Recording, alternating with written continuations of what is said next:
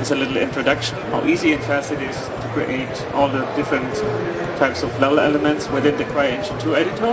We have here in our environment system now a quite longer view distance. It's not just like maybe in other engines 1000 kilometers with a big fog effect like this that you can see up here, one kilometer, but we have up to 8, 16 kilometers view distance without slowdown because we got a integrated LOD system, so the terrain is optimized and the, the trees are optimized. So even though we have two million two million polygons on screen, its frame rate is pretty good.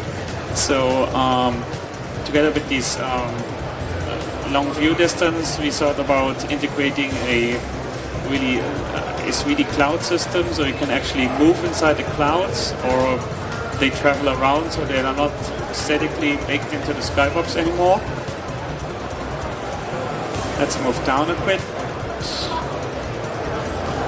Maybe here to the city. Let me show you the uh, how we light the level. The uh, lighting is done with our time of day lighting system. So you can see uh, where the sun should rise, and uh, you can see how, how bright it is, and what type of fog settings you can have. 0.5 maybe. As you move to the night, you get a star map. It's not a texture of, of the stars. It's a really um, it's a generated texture based on a position where you are on the Earth. Um, so the sky map automatically updates them. As you might you might notice, um, the shadows are updating in real time. They are really, yeah, smooth, soft shadows. So even though they are real time, there's not a disadvantage using them.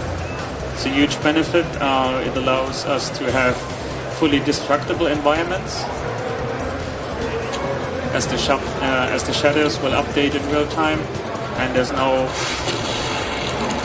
ah, missed it okay I got it so but you can see how nicely the shadows are updating and there's no no yeah baking into this talk a little bit more about destructible environments. Um, for example for buildings we uh, defined certain breakpoints. For example here at this point the building can break so this is all set up by artists.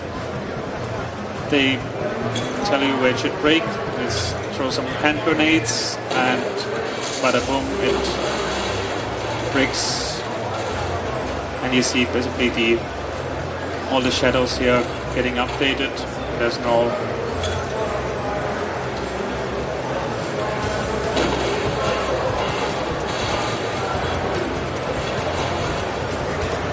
and they are resting so there's no intersection happening anymore about the creation tools. We get the integrated uh, vegetation system, and the vegetation system uh, allows the designer to literally, uh, yeah, paint uh, forests and other type of natural uh, environments um, based on certain functions, for example, density or the elevation. So obviously, underwater there should not be trees growing. So with all this set up and almost just one mouse click you, you build your little forest. It's not so fast. You build your little forest and you can you can move around certain elements, rotate them, and make basically the forest as, as dense as you want to have. Then on the ground there's obviously right now there's grass. Let's turn on the procedural vegetation. So these is uh, these are distributed distributed uh, objects based on the um, ground coverage. Example, for example, if I paint the forest texture, I define within the vegetation system there should be little plants growing, growing on them. And I can also define how dense this should be. For example, let's let's change the density to a bit more, and there will be more plants growing here or put it back and make make the size very variation different, general size different, and they automatically automatically update in real time. It's a huge benefit when creating levels to have all these controls so you can tweak them and uh, define them depending on how dense you want to have the combat here, the section. About the terrain modification, we get uh, different tools. For example, uh, the normal terrain sculpting tool is like here, you, you modify the height map. And say, oh, I want to have it this high, oh, I cut, want to cut in here some mountain. And it, uh, the shading obviously get also updated in real time. You, you build a flat section and you paint on this section, for example, grass. And what you can do is you can say uh, where the texture should be uh, painted on. For example, this one I allow, I allow only to paint on a slope up to 45 degrees.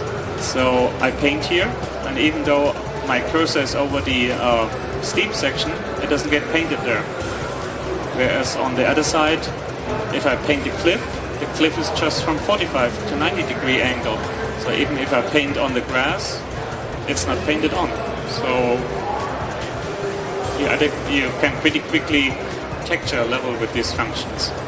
As you might know, the height map is just a 2D thing that is um, extended up, and we can create um, mountains that are up to 10, 10 kilometers high. Uh, we also have a voxel tool, and the voxel tool allows us to build um, 3D terrain, really 3D terrain where stuff goes out of the height map, like for example here, or inside the height map, like we use for caves or other kind of cool phenomena. Inside here you can obviously also texture this or, or smooth it out. Then you walk inside and the geometry automatically got updated. So there's no no slowdown, no re-exporting.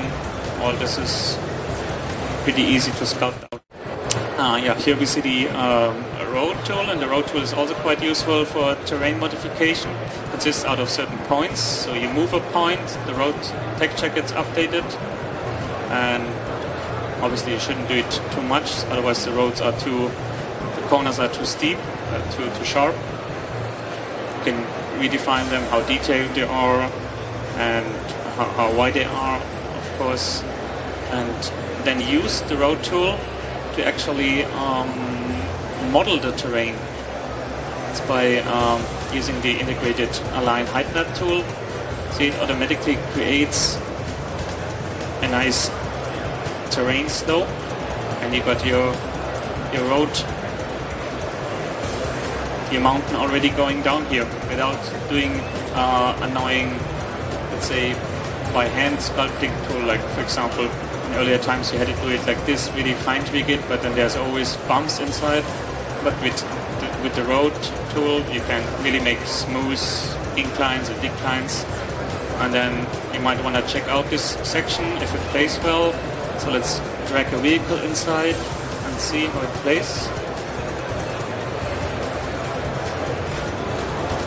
So like this. Yeah, it's working quite well. So